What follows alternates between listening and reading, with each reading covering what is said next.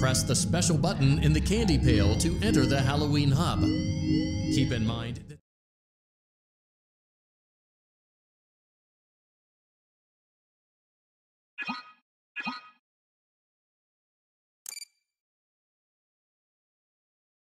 Welcome back to Parts and Service. It looks like one of our guests left a personal item on our star attraction. Let's return it to the lost and found. Carefully grab and remove the child's hat from Freddy's mouth.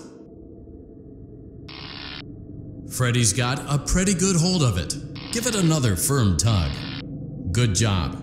Now place the hat in the lost and found bin on your right.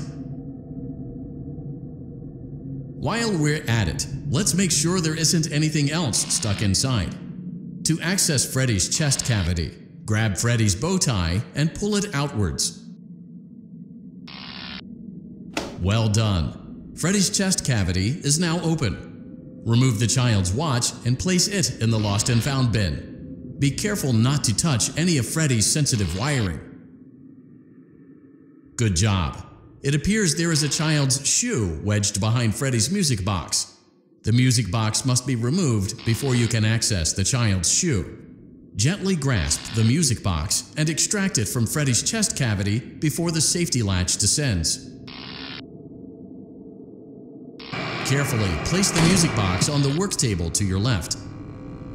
Great job. To reset the safety latch, press the button located on Freddy's endoskeleton. Now, remove the child's shoe and place it in the lost and found bin.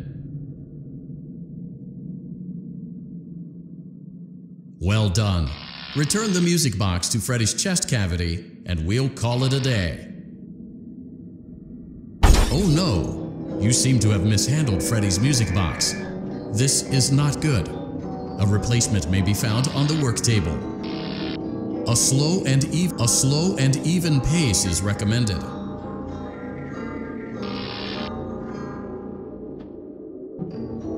A, sl a, sl a slow and even pace is recommended.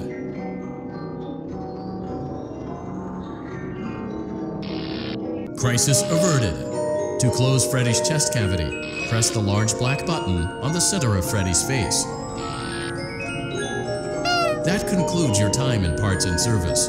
Your pay will be docked accordingly.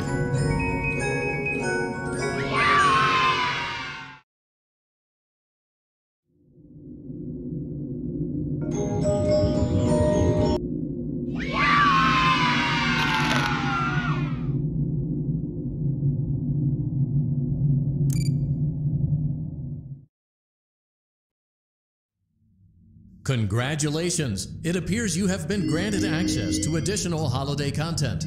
Press the special button in the